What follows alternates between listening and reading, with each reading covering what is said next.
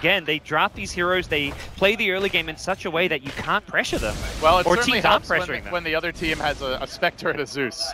These are not the, the lane dominators. Yeah. That's For sure. EG, it, everything comes together when they hit that bat right at Blink Oh, they Dagger. want Bulldog. They are going to connect with the Gale. This might be a big kill for Arteezy. Yeah. Bulldog trapped out. Even the ward's going to be third. Sumail says, that's mine. Pops the ult, gets the experience, and first blood is claimed. I love that. Whew. Brutal. Action Thus far.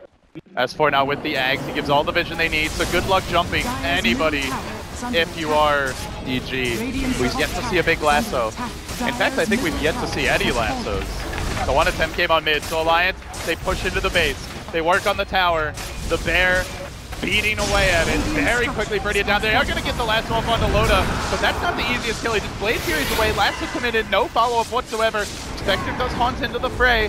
But what do they really get out of this? Batrider now jumping forward. He's to get punished for this. Universe is too far. He's overextending. May go down. The Glimmer Cape is going to keep him alive. Now Arteezy walks in, but the tower's down. They're fighting against the Bear Bird. This is going to hurt. It might leave a rash. Arteezy lucky to get rooted there. Then the Omni Loda executes his counterpart and chases onwards. Bulldog grabbing both kills. And Alliance still in full fighting The- form here. They've even bought back on the Spectre and the Zeno, but that's such a huge gold investment. The healing ward of Juggernaut just wrecks when they go for these pushes. They put the bear on the high ground. The healing ward's just sitting there, can't be touched, healing up the bear, and EG's forced to go for a This is risky play. dieback. If he goes down here, Arteezy, he can't afford for this to happen. They got to get him out of there. Where's the root? Bulldog is asking for it, and he gets it. Universe could be next here on the high ground with the Death Ward. Is this enough to start the fight? They already loaded down. They are going to counterplay it. They get to it. The dieback on the Spectre, though. It's such a huge expense. Yeah, again though, it's the Fear Witch Doctor keeping EG in this game. But they're overextending LD. The cast is going to catch up too, but they've already lost another core hero in the Batrider. They don't have And any EG. carries. It's going to be up to S4 to Yep. backstab them if they want to turn this.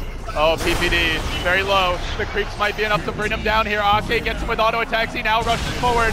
Sumail may also drop. Can he nuke down S4 time? Another void comes out. That's a triple for Akke. A net as Oh, well. No escape, and Sumail too will fall. Dieback on the Spectre. Team wipe on the rest. The crowd is loving it. The relic. He's not going to have buyback. Very close. The bear gets to work now.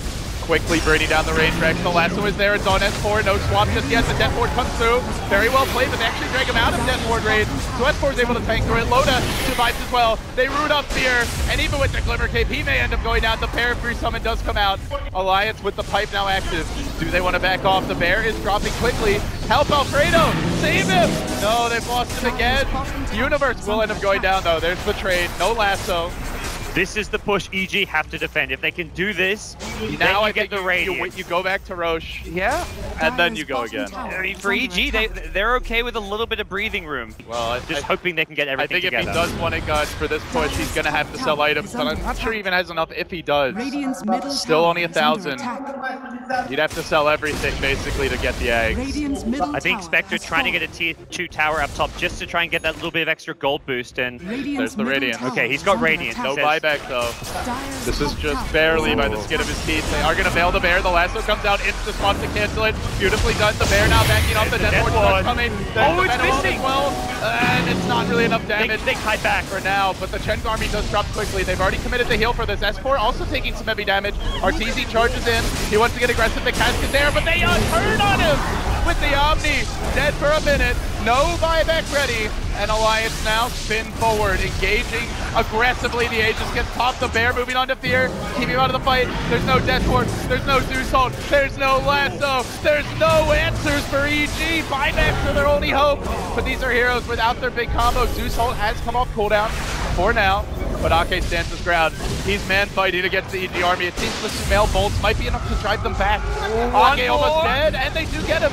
Sap number one, bolt number two. EG oh. with the Zeus buyback able to turn the fight. It took him a Witch Doctor buyback as well, but this is what EG have to do. They've just got to Their swap into a quick stun with a void there as well. A pick on Universe could be very big, but the veil comes out. That bolted about a third of S4's HP off the bat. And Universe, Silence. speaking of the bat, blinks in looking for a lasso, but he was silenced. A void again from S4 with the 10 second BKB about to go cold out. They're going to need a route to engage into this. PPD, glimmering and retreating. will make it out. Nice disengage coming out from the side of EG, and he losses at this stage of the game, and it's brutal, and that's a 10 second BKB, so, I mean, EG are playing the long game. For them, any win condition is in the 50 minute plus stage of this game, so when those BKBs get down to 5 seconds or less, when they manage to somehow farm up, like the Manta and more on Spectre, get more items on heroes like Zeus, but for Alliance, they want to end things in the next 10 to 15 minutes, either now or with the next agent. Yeah, going bottom, an interesting choice when that melee rax is exposed top, but that's because Arteezy is pushing out the lane. Yeah. Very much He just like a positioning farm. They almost found a kill mid lane, and then there was no lane to push elsewhere, so I mean, that Spectre clock is slowly ticking, gods. He's getting a lot of space, a lot of time, especially after the rough start he had.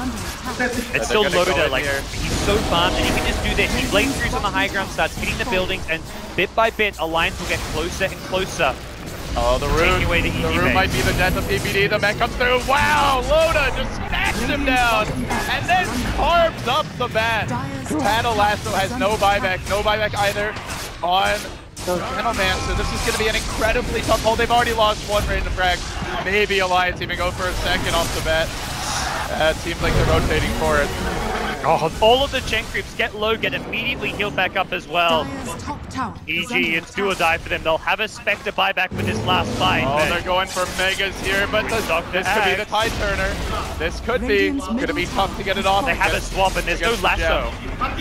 Arteezy into the middle of the fight. I believe he does have buyback. He's going to have to use it as he gets nuked down by the Chen.